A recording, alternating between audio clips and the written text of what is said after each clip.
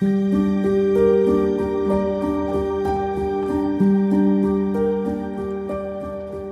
everyone, I'm Aaron, a birding naturalist. Welcome back to my channel. I, on this foggy morning in the Delta, went out walking around just to see what I could see, and I found something really cool. Check these out. Amanita muscaria.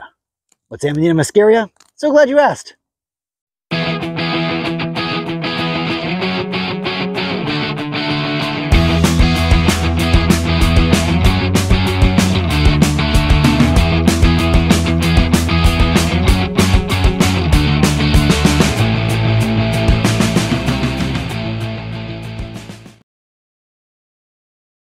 Amanita muscaria are that classic red mushroom with the white dots that everyone associates with poison. Poison, poison, poison.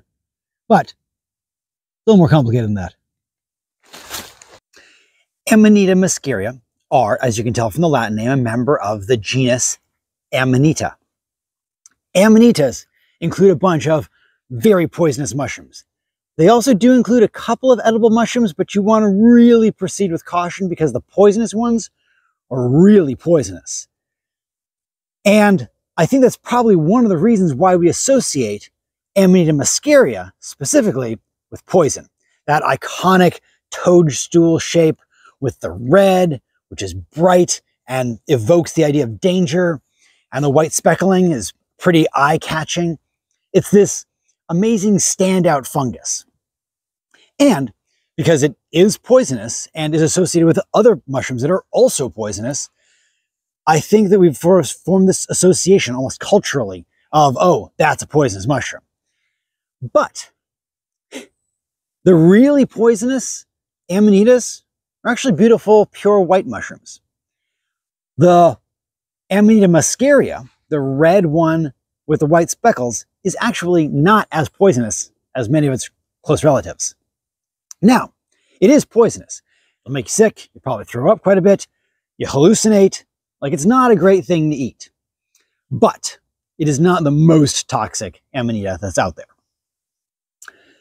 Amanita muscaria are really interesting in that they are native to like the entire northern hemisphere of planet Earth. Um, every continent, they are often associated with conifer woodlands, deciduous woodlands. They're very generalist, very cosmopolitan, very wide ranging in their symbiotic interactions, which is another really interesting thing about them.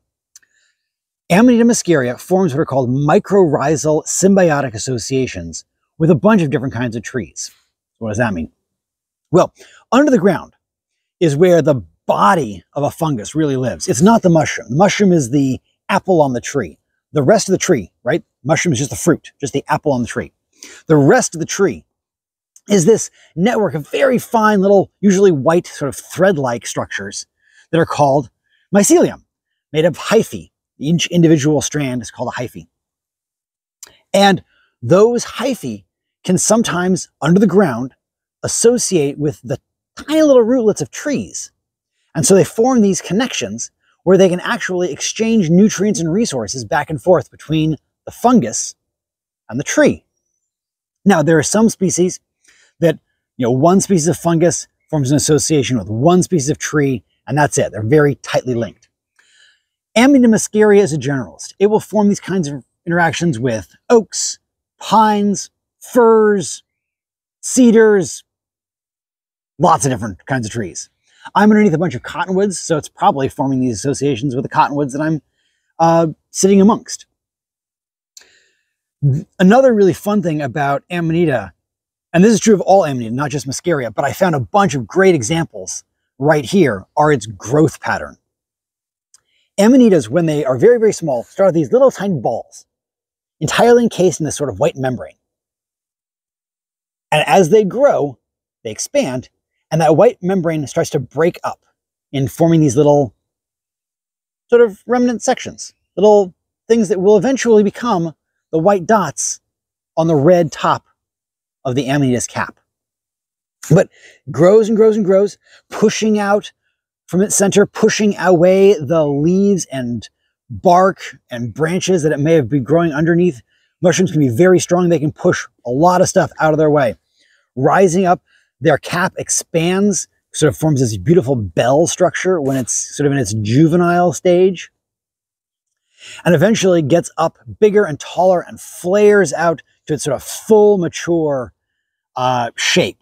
That's when most of the spores are launched out of the gills, dispersed on the wind, carried around, hopefully landing someplace where they can grow and form the next generation of mushrooms. As the mushroom continues to mature, it gets even wider, flared out, kind of loses its color and kind of starts to deteriorate and break apart.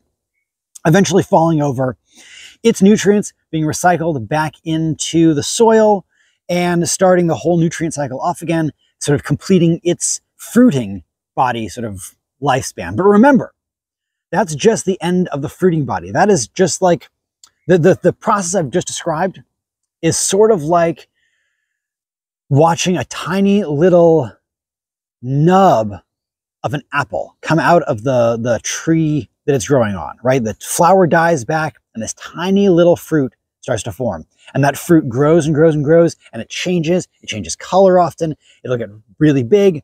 Things happen to it biochemically, like a lot of sugars develop. It eventually ripens and then kind of over ripens, falls off the tree and deteriorates, right? That's kind of the life cycle of an apple. The same thing has just happened to the life cycle of a mushroom. But while the apple can grow, over ripen, fall, deteriorate, the tree is just fine. And so true, so is true with the, the mycelium of Amanitas and most other fungi.